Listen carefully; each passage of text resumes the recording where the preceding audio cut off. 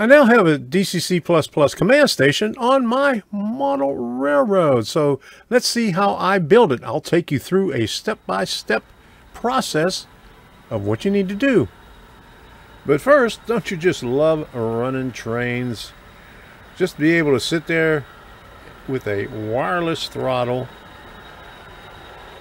Very inexpensive with DCC++ EX. In this video, I'm going to show you how you can build your own for just about $75 and we'll be going on this journey together. You can see everything on my website, tomstrainofthought.com in the projects folder DCC++ EX. Put a smile on your face. The reason why I'm putting this out now is because I'm going to be building a test track in the other room. Because I'm going to be running EX-Rail and Track Manager, which is coming up in the next version, version 5. The dev team is working on some of that stuff right now, and Kevin C. Smith said he would let me have a sneak peek at it. So I'll be sharing that with you in future videos. So let's get going with this. Everything that I cover in this video, I will go into more detail on this page right here.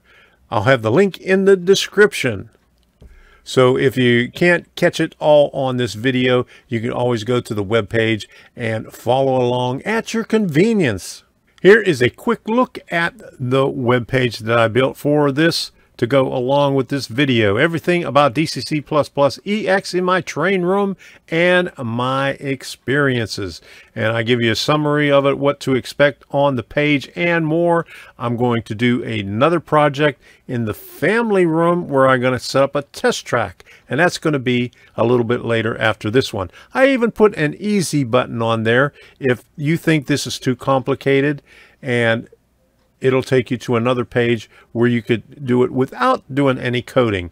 But I give you a brief history of DCC, how I got involved, uh, what I am doing in the present day, the train room operation, where to buy, choosing components, less expensive components and high-end components, train room command station, connecting the devices together, installing the software, upload, power up, test, and finally the throttle connections.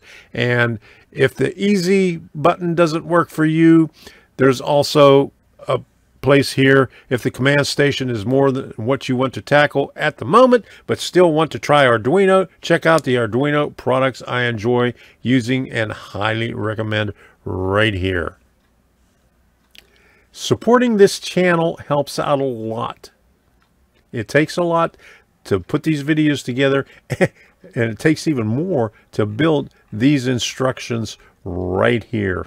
Since I'm going to be using engine driver on an old cell phone, we're going to have Wi-Fi on this. So we're going to have three major components. The Mega. It could be any brand. I'm using an Arduino right here.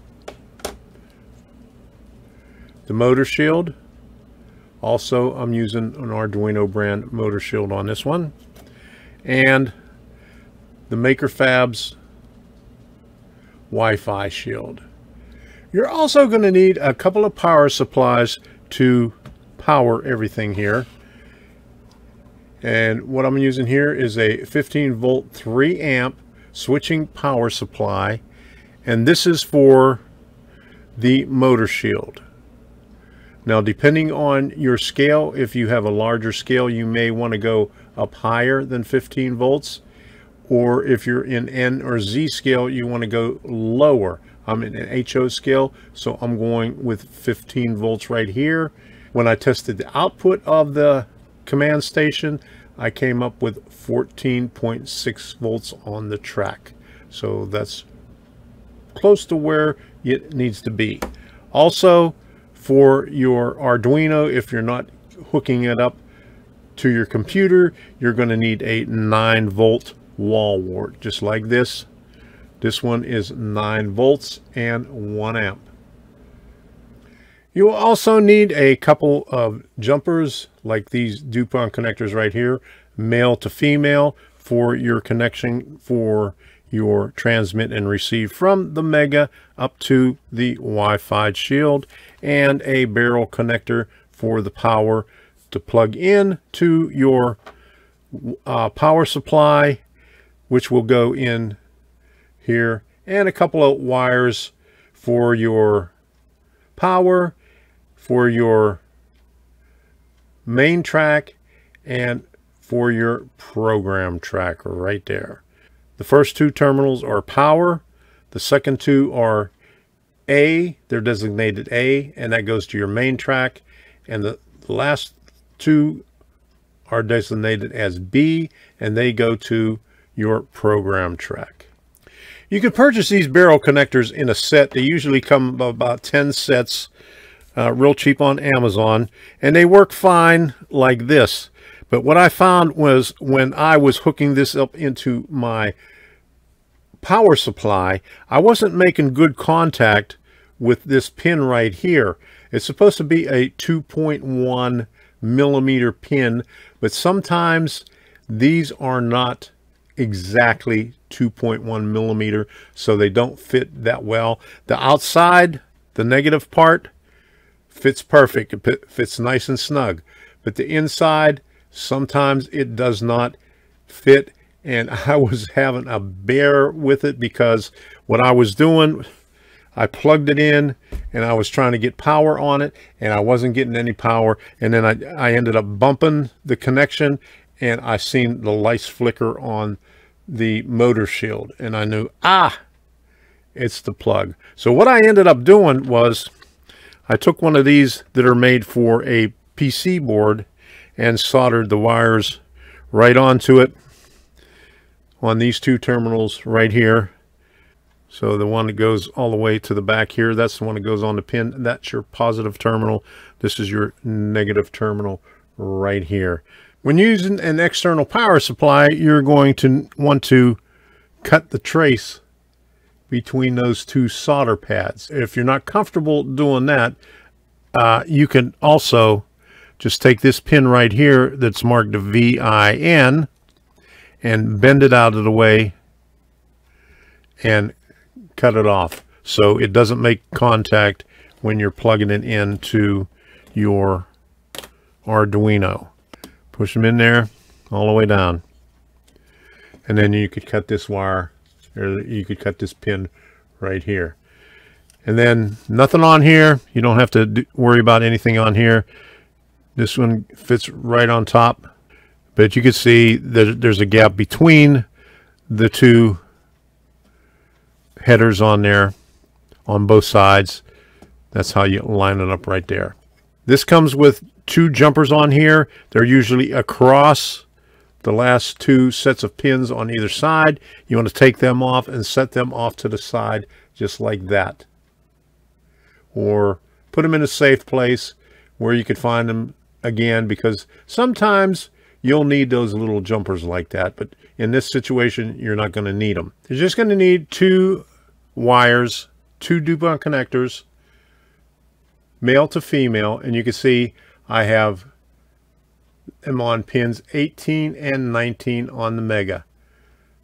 Number 18 is the transmit and number 19 is the receive. So 19 is the receive and what you're going to do is put the receive on the transmit on your Wi-Fi shield. The transmit is on this side here. And the receive is on the opposite side. You could put them on any any one of these. There's eight channels on here, so it doesn't matter which channel you use. Transmit to receive and receive to transmit. We're going to install our power wires. I already tinned the wires and placed them in the terminals. The ground is toward the end which is your black wire, and the red is your positive.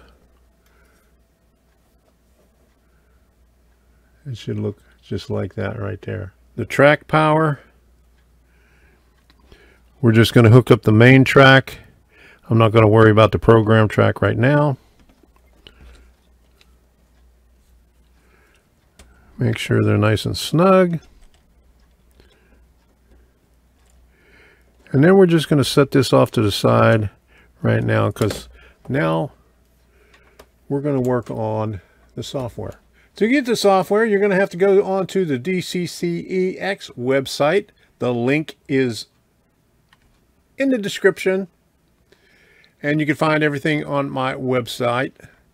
Latest DCCEX official release.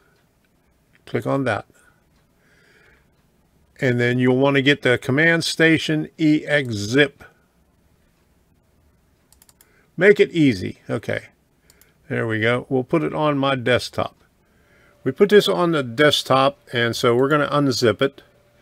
We're going to extract all. We're going to extract it onto the desktop to make it easy.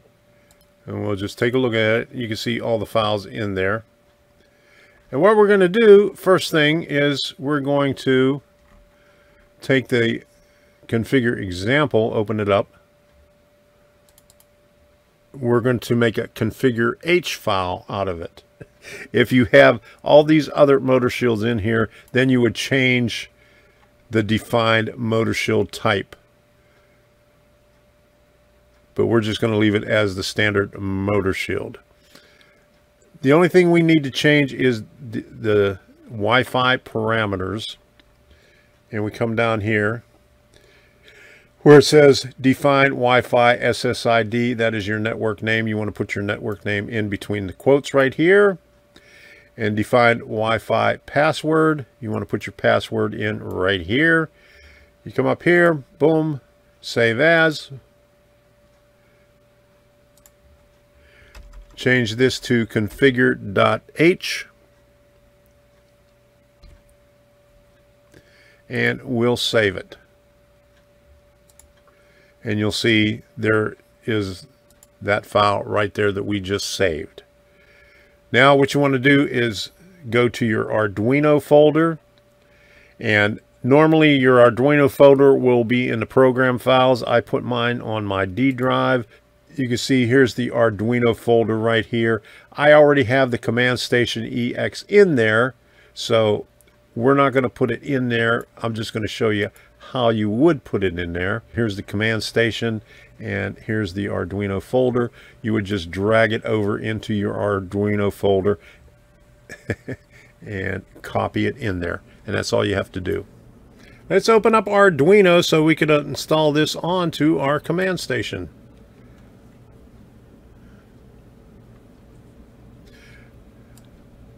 You'll want to click on File and Open. And you can see it's already on the folder Command Station EX. Uh, if you're on Arduino, you'll see it in here, Command Station EX. The folder, you want to go inside the folder and to the file, Command Station EX. It has the little icon for Arduino, the little infinity symbol. So we'll open that up and it opens up the sketch. It opens up the project. So let's bring it over here. We're going to hook up your our command station right here.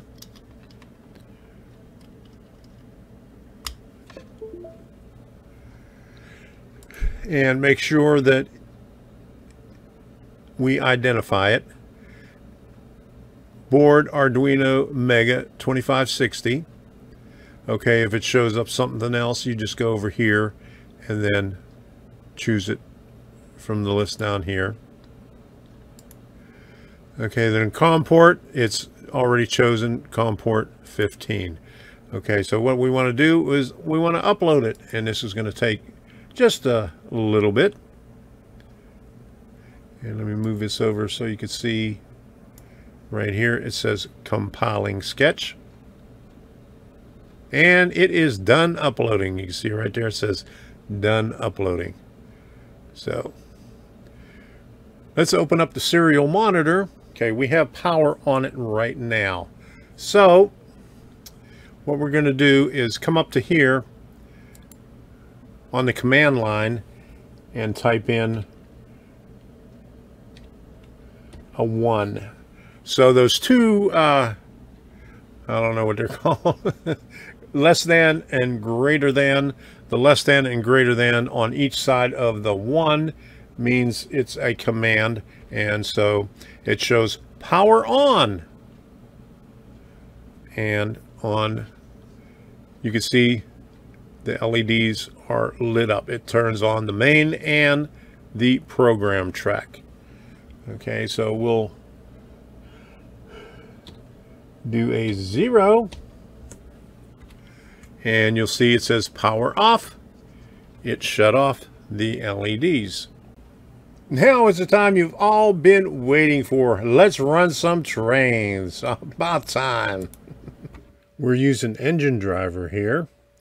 We'll open it up, select DCCEX, click the three dots, click power, push the power button, and select your first locomotive 03, acquire, select the one on the left, 8432, acquire, and there you have it. You're ready to go. Now it's time to run some trains. Okay, we got the lights on. Okay, let's turn the bell.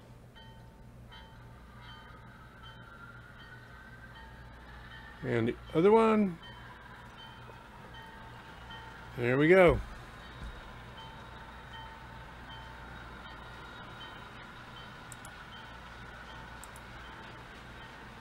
Let's get a good view of this.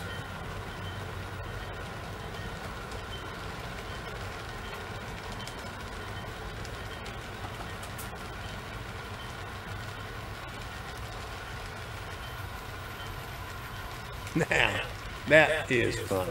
Don't forget, everything and more is on my website that I built specifically for this video and DCC++ EX, which goes into greater detail than what this video does.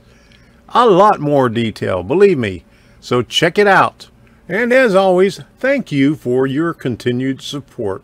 I wouldn't be able to do these without the support I get from all of you, subscribers, patrons, and members. Thank you. Thank you very much. So until the next time, we'll see you.